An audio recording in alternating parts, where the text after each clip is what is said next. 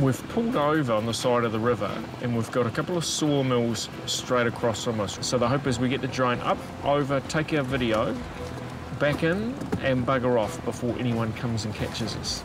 I need everybody keeping perfectly still while I'm flying. Don't crash it.